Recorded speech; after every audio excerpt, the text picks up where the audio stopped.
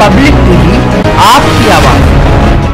जम्मू कश्मीर के पुलवामा में एक आतंकी हमले में भारत के सीआरपीएफ के 42 जवान शहीद हो गए हैं, जिनकी शहादत में आज सिंचाई विभाग के समस्त कार्यालयों के समस्त कर्मचारी नलकूप प्रांगण में एकत्रित हुए और सभी ने भारत के इन 42 वीर शहीदों के लिए दो मिनट का मौन रखते हुए उनकी आत्मा की शांति व शहीदों के शोक तंत्र परिवार के लिए भी इस अपार दुख की घड़ी में उनके परिवार के प्रति संवेदना व्यक्त करते हुए, दुख सहने की अपार क्षमता, शोक, संतृप्त परिवारों को ईश्वर प्रदान करे, सभी कर्मचारी द्वारा ऐसी प्रार्थना की।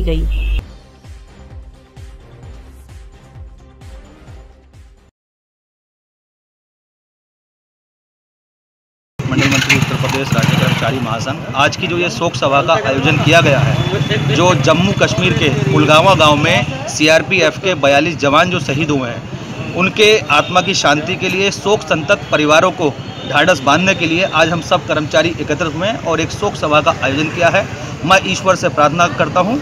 कि जो हमारे भारत के वीर शहीद हुए हैं, उनकी आत्मा को शांति मिले और शोक संतप्त परिवार है, उसको भी जो है प्रभु